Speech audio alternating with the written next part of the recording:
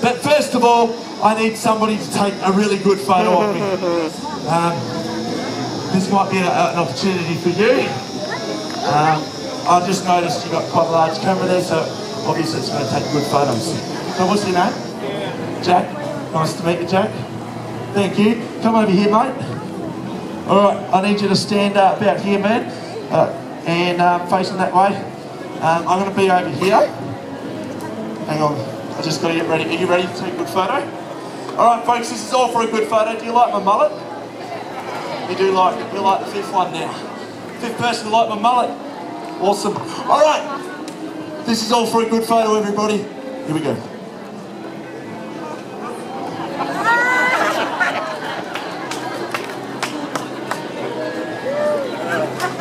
All right, don't walk off yet.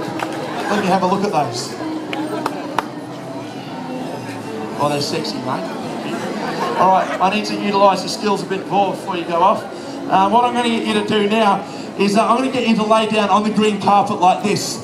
You'll be laying down here, and I'm going to be standing over the top of you, whip cracking, while you're taking great photos, looking up at me. Is she still standing there, or she ran away?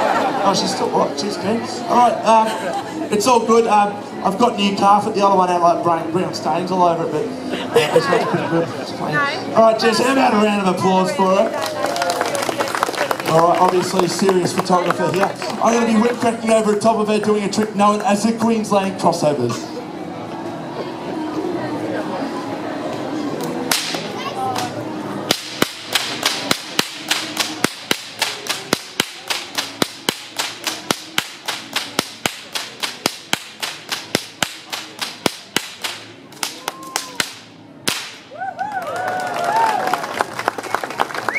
Oh, cheers, dude.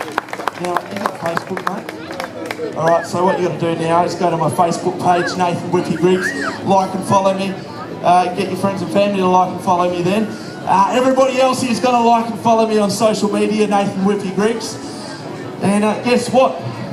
The more people that like and follow me on social media, media equals the more famous I get, equals the more your stubby holder's worth. A good incentive. Thanks. Cheers, mate. How about a round of applause, bro?